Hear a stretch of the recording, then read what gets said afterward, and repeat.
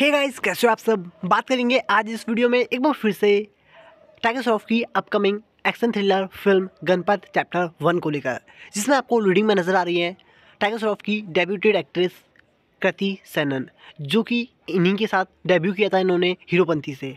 आपको आ दें फ़िल्म काफ़ी एंटरटेनिंग होगी गणपत चैप्टर वन जिसमें ये आपको टाइगर श्रॉफ नज़र आएँगे एक बॉक्सर के तौर पे। अब बात की जाए इस फ़िल्म फ्रेंचाइजी को लेकर तो आपको आ दें इस फ़िल्म सीरीज़ को दो पार्ट्स में बनाया जाएगा पार्ट वन और part two part one release हो रहा है नेक्स्ट ईयर और पार्ट टू रिलीज़ हो सकता है 2024 में। अब ऐसे में बात करें फ़िल्म को लेकर। तो इस फ़िल्म को डायरेक्शन देंगे विकास बैल, वहीं प्रोड्यूस कर रहा है जाना माना बैनर पूजा एंटरटेनमेंट्स जहाँ पर इस फ़िल्म का बजट बताया जा रहा है। डेढ़ सौ से दो सौ करोड़ रुपए, क्योंकि इस फ़िल्म फ्रेंचाइजी के लिए दोनों पार्ट्स के लिए ही टाइगर श्रॉफ ने पचास करोड़ की फ़ीस चार्ज की है।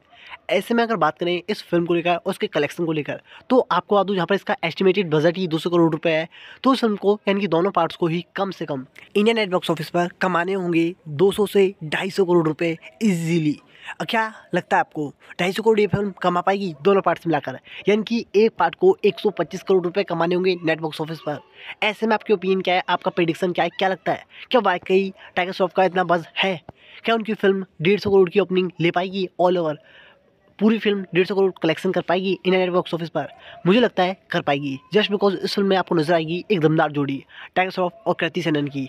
वेल well, आपको बताया इनकी मचावेटेड फ़िल्म हीरोपंती भी ऑडियंस ने पसंद की थी तो उम्मीद की जा रही है गणपत चैप्टर टू भी चैप्टर वन भी दोनों पार्ट्स ऑडियंस को पसंद आए और उनका दिल जीते। यकीन मानेगा अगर पार्ट वन हिट हो जाता है तो सेकंड पार्ट डेफिनेटली ब्लॉकबस्टर जाएगा ही जाएगा।